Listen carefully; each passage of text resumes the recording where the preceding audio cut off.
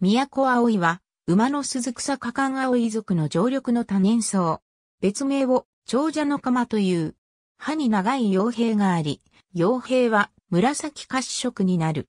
葉身は、卵円形、楕円形、または、卵状楕円型で、長さ6から10センチメートル、幅4から8センチメートルになり、先端は、二部頭、基部は深い心形になる。基部の両側辺は時に、耳状に張り出し、全体が穂、小形になることもある。葉質は、やや薄く、葉の表面は、光沢がほとんどなく、平坦で緑色になり、単毛が治癒する。表面に様々な縁模様が入るが、雲紋状の縁が入るものが普通である。葉の裏面は無毛である。花は3から4月に咲く。花に花びらはなく、学列片が花弁状になる。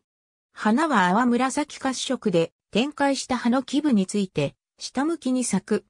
学頭は台形状の筒型で、長さ6から8ミリメートル、計8から10ミリメートルになり、上部が急に細くなり強くくびれる。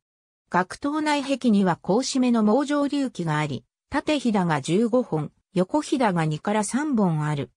学列片は卵状三角形で長さ8から10ミリメートルになり、斜めに開け出し、先端はやや鈍頭で、基部はややくびれる。学列片の表面は滑らかであるが、基部に弱いシワ状の盛り上がりがあり、円は淡い色になる。幽髄は12個あって、ごく短い花糸で脂肪壁に取り巻き、薬は外側を向く。花中は6個あって、円柱型になり、花中の頂部に中東がある。葉の表面に白色の筋まだらがあり、光沢があるものが栽培されている。日本固有種。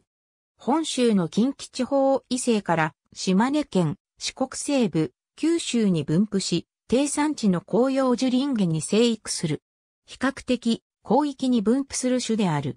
和名、都葵は、と葵の意で、京都で初めて確認されたことから言う。種商名アスペラムは、素面のザラザラしたの意味。ありがとうございます。